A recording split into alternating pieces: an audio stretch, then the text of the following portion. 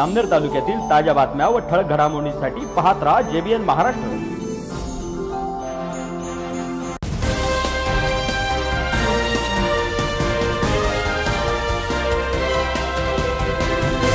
नमस्कार मी मिनल चौधरी. पाहूया काही ठळक वृत्त. जामनेर तालुक्यात जवळपास दहा ते बारा दिवसांनंतर जोरदार पाऊस झाला असून शेंदुर्णी चिलगाव परिसरात नदीला पूर आला आहे. तर या पावसाने शेतातील पिकांना जणू संजीवनी मिळाली असल्याने शेतकरी राजा आनंदित झाला आहे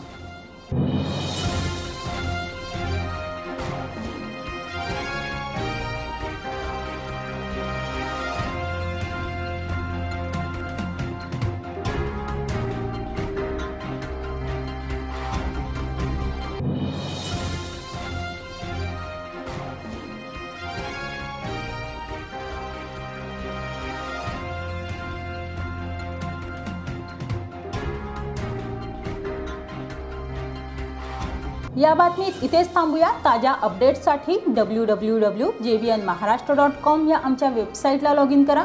तसेच यूट्यूबवरील आमचे व्हिडिओ पाहायला विसरू नका आणि Google play स्टोअरवरील J B N news app download करून J B N Maharashtra news channel live पहा.